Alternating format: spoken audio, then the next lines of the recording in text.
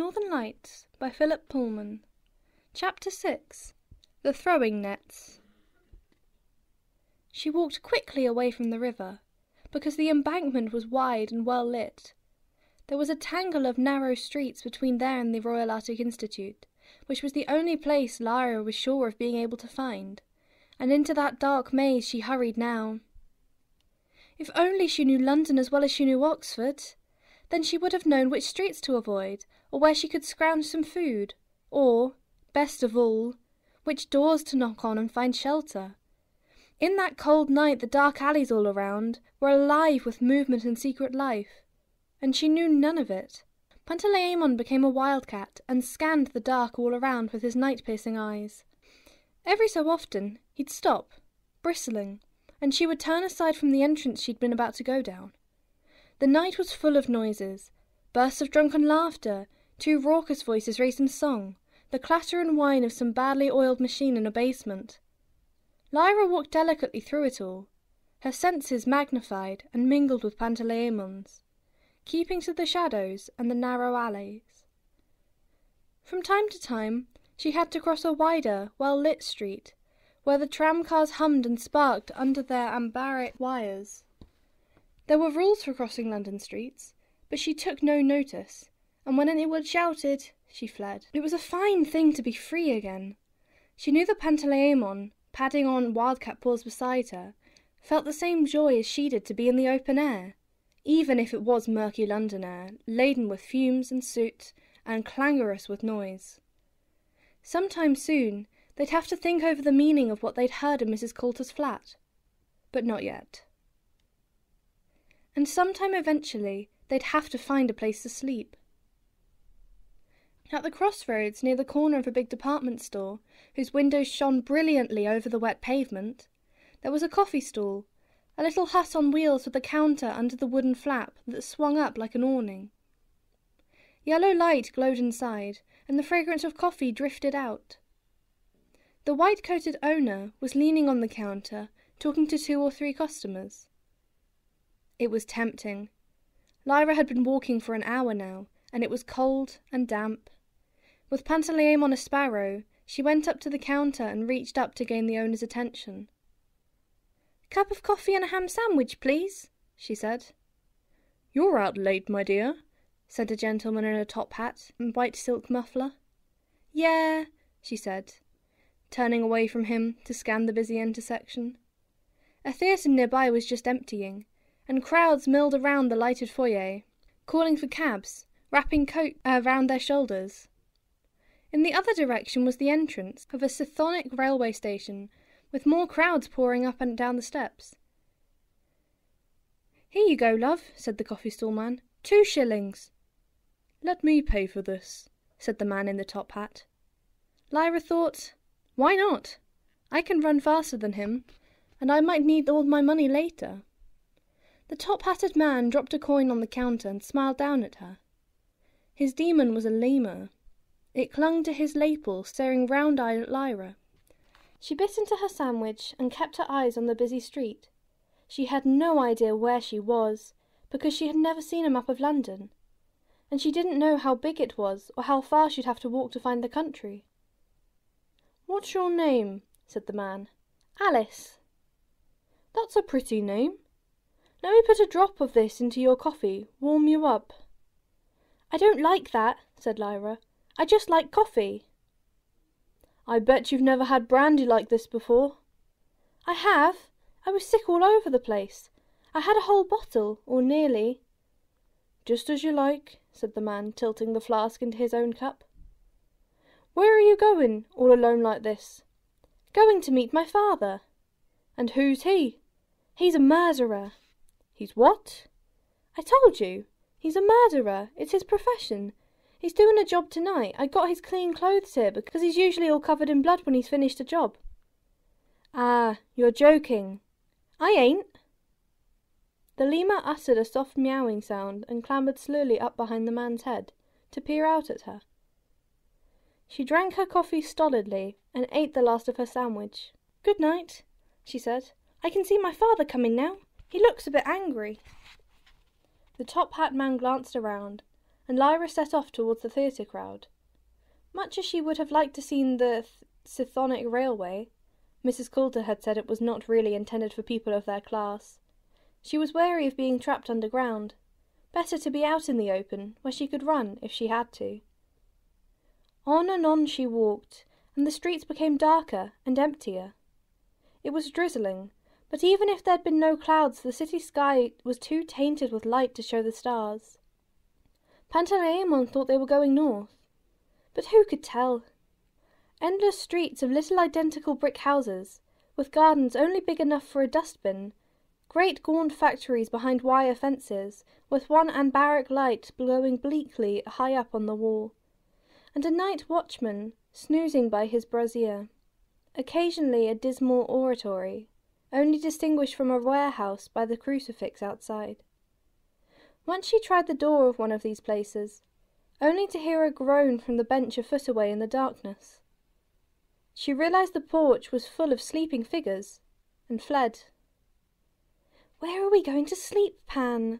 she said, as they trudged down a street of closed and shuttered shops. A doorway somewhere. Don't want to be seen, though. They're all so open. There's a canal down there. He was looking down a side road to the left. Sure enough, a patch of dark glimmer showed open water, and when they curiously went to look, they found a canal basin where a dozen or so barges were tied up to the wharf, some high in the water, some low and laden under the gallows like cranes. A dim light shone in one window of a wooden hut, and a thread of smoke rose from the metal chimney. Otherwise, the only lights were high up on the wall of the warehouse or the gantry of a crane, leaving the ground in gloom. The wharves were piled with barrels of coal spirit, with sacks of great round logs, with rolls of caoutchouc covered cable. Lyra tiptoed up to the hut and peeped in the window. An old man was laboriously reading a picture story paper and smoking a pipe, with his spaniel demon curled up asleep on the table. As she looked, the man got up and brought a blackened kettle from the iron stove and poured some hot water into a cracked mug before settling back with his paper. Should we ask him to let us in, Pan? she whispered.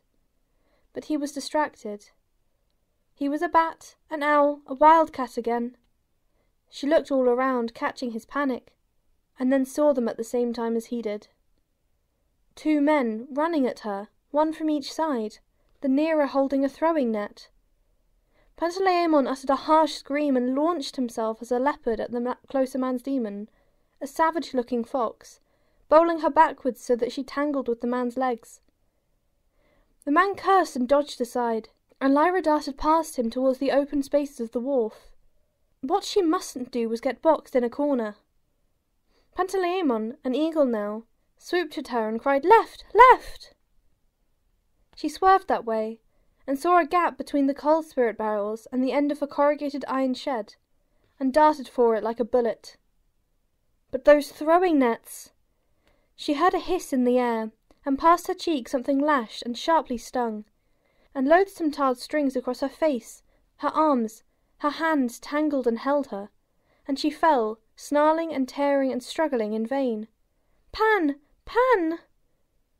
But the fox demon tore at the cat Pantalaimon, and Lyra felt the pain in her own flesh, and sobbed a great cry as he fell. One man was, was swiftly lashing cords around her, around her limbs, her throat, body, head, bundling her over and over on the wet ground.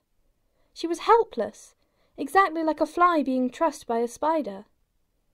Poor hurt Pan was dragging himself towards her, with the fox demon worrying his back, and he had no strength left to change even and the other man was lying in a puddle with an arrow through his neck. The whole world grew still, as the man tying the net saw it too. Pantalaimon sat up and blinked, and then there was a soft thud, and the net man fell choking and gasping right across Lyra, who cried out in horror that was blood gushing out of him. Running feet, and someone hauled the man away and bent over him.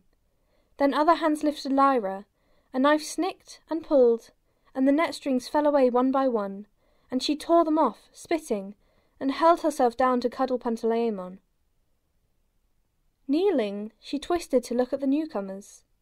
Three dark men, one armed with a bow, the others with knives, and as she turned, the bowman caught his breath. That ain't Lyra! A familiar voice. But she couldn't place it till he stepped forward, and the nearest light fell on his face, and the hawk demon on his shoulder. Then she had it. Gyptian! A real Oxford Gyptian! Tony Costa, he said. Remember? You used to play with my little brother Billy off the boats in Jericho, afore the gobblers got him. Oh God, Pan, we're safe, she sobbed. But then a thought rushed into her mind. It was the Costa's boat she had hijacked that day. Suppose he remembered?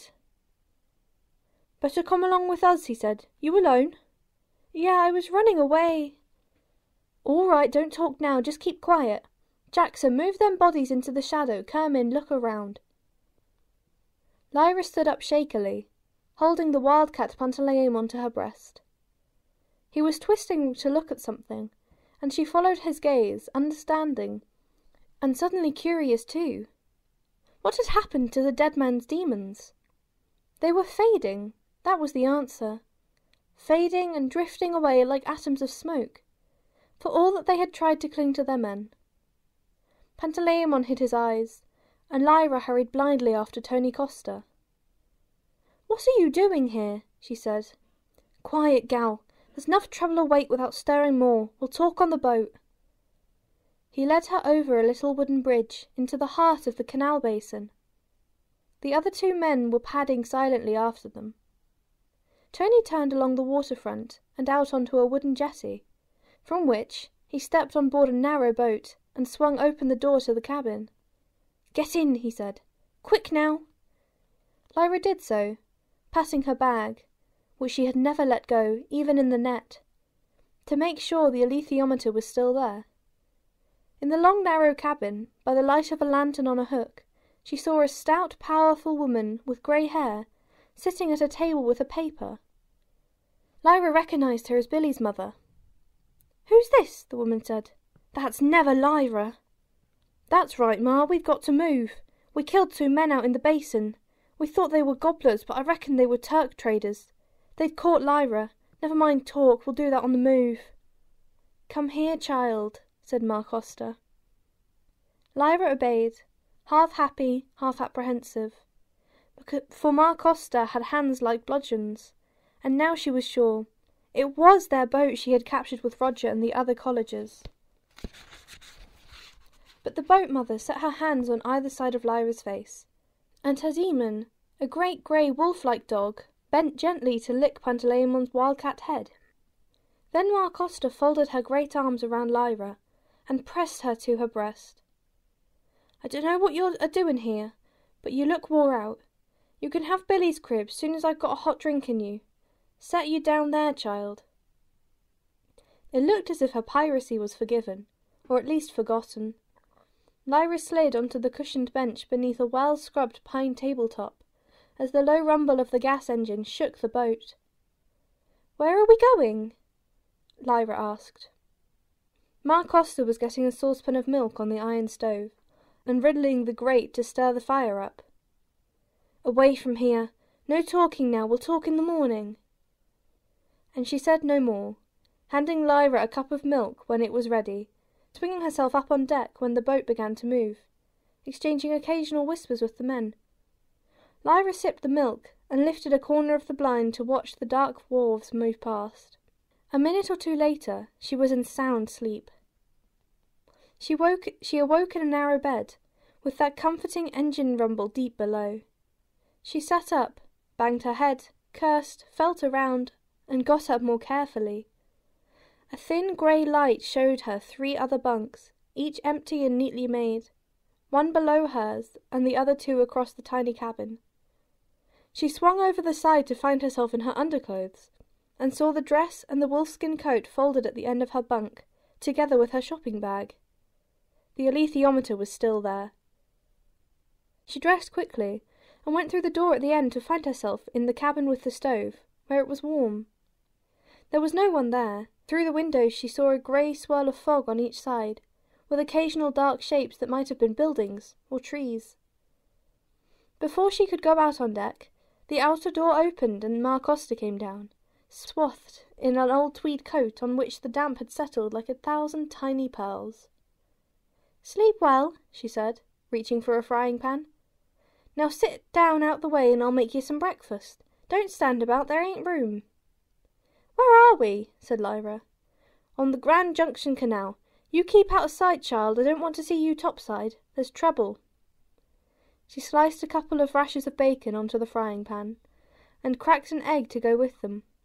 What sort of trouble? Nothing we can't cope with if you stay out the way. And she wouldn't say any more until Lyra had eaten. The boat slowed at one point. Something banged against the side, and she heard men's voices raised in anger. But then someone's joke made them laugh, and the voices drew away, and the boat moved on. Presently, Tony Costa swung down into the cabin. Like his mother, he was pearled with damp, and he shook his woolen hat over the stove to make the drops spit and jump. What are we going to tell her, Ma? Ask first, tell later. He poured some coffee into a tin cup and sat down. He was a powerful, dark faced man. Now she could see him in daylight. Lyra saw a sad grimness in his expression. Right, he said. Now you're going to tell us what you was doing in London, Lyra. We had you down as being took by the gobblers. I was living with this lady, right? Lyra clumsily collected her story and shook it into order as if she were settling a pack of cards ready for dealing. She told them everything, except about the alethiometer. And then last night at this cocktail party, I found out what they were really doing. Mrs. Coulter was one of the gobblers herself, and she was going to use me to help her catch more kids. And what they do is.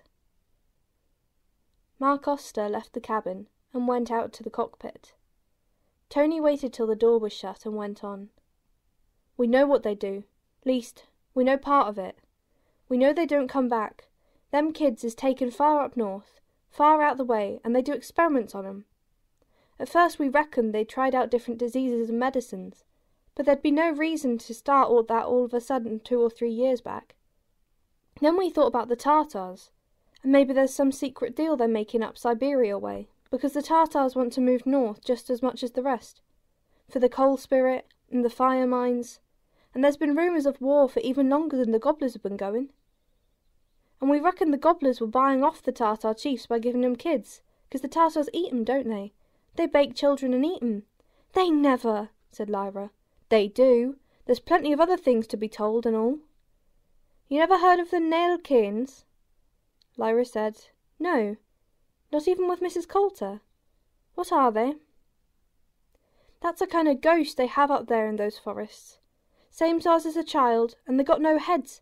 They feel their way about at night, and if you're asleeping out in the forest, they get a hold of you and they won't make anything let 'em go. Nälkäinens, that's a northern word. And the wind suckers, they're dangerous too. They drift about in the air. You come across clumps of 'em floated together sometimes, or caught snagged in a bramble. As soon as they touch you, all the strength goes out of you. You can't see 'em except as a shimmer in the air. And the breathless ones, who were they? Warriors half killed. Being alive is one thing, and being dead's another, but being half killed is worse than either. They just can't die, and living is altogether beyond 'em. They wander about forever. They're called the breathless ones because of what's been done to them. And what's that? said Lyra, wide eyed. The North Tartars snap open their ribs and pull out their lungs. There's an art to it. They do it without killing 'em, but their lungs can't work any more without their demons pumping 'em by hand. And so the result is that they're halfway between breath and no breath, life and death. Half killed, you see. And their demons got to pump and pump all day and night, or else perish with 'em. You come across a whole platoon of breathless ones in the forest sometimes, I've heard. And then there's the panserbjørne. You heard of 'em? That means armoured bears. They're kind of like a polar bear, except. Yes, I have heard of them. One of the men last night, he said that my uncle, Lord Asriel, he's being imprisoned in a fortress guarded by the armoured bears. Is he now? And what was he doing up there? Exploring. But the way the man was talking, I don't think my uncle's on the same side as the gobblers. I think they're glad he was in prison. Well, he won't get out if the armoured bears are guarding him. They're like mercenaries, you know what I mean by that. They sell their strength to whoever pays. They've got hands like men, and they learn the trick of working iron way back. Meteoric iron mostly. And they make great sheets and plates of it to cover themselves with. They've been raiding the Skraelings for centuries. They're vicious killers, absolutely pitiless. But they keep their word. If you make a bargain with a panserbjørn, you can rely on it. Lyra considered these horrors with awe. Ma don't like to hear about the North, Tony said, after a few moments, because of what might have happened to Billy. We know they took him up north, see? How do you know that? We caught one of the gobblers and made him talk. That's how we know a little about what they're doing. Them two last night weren't gobblers, they were too clumsy. If they'd been gobblers, we'd have took 'em alive. See, the Gyptian people, we've been hit worse than most by these gobblers, and we're a coming together to decide what to do about it. That's what we was doing in the basin last night, taking on stores, 'cause we're going to a big muster up in the Fens, what we call a roping. And what I reckon is we're a going to send out a rescue party when we hear when we heard what all the other Gyptians know. When we put our knowledge together, that's what I'd do if I was John Faa. Who's John Faa? The king of the Gyptians. And you're really going to rescue the kids? What about Roger? Who's Roger? The Jordan College kitchen boy. He was took same as Billy the day before I come away with Mrs. Coulter. I bet if I was took, he'd come and rescue me. If you're going to rescue Billy, I want to come too and rescue Roger. And Uncle Asriel, she thought. But she didn't mention that.